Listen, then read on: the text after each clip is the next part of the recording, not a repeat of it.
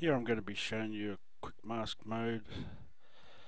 Obviously if you want to do it better you just use more detail. Uh, first of all we go to select, edit in quick mask mode.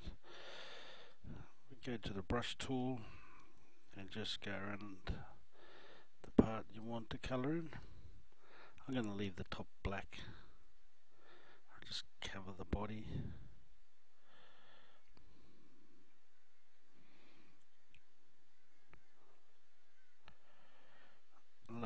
We'll get rid of all the bits and pieces we overlap like I just done there. Widen the brush a bit to fill it all in.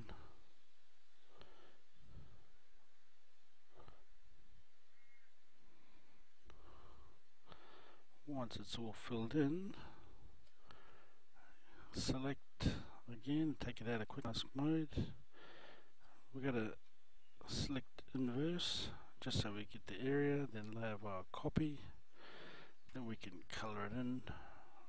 Adjustments you can use any of them but it's quicker just to show you how to color it in with the color balance. Once we've done that we go back to the eraser tool drop that down so we can get right in closer.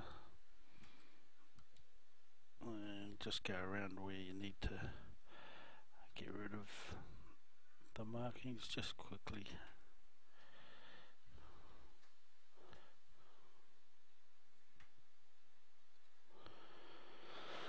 Okay. Everything else looks pretty okay. Just a rough idea of how to do it. You can get rid of that as well.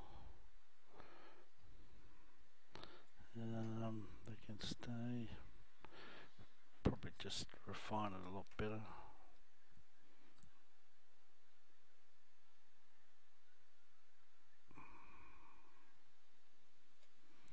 And that's it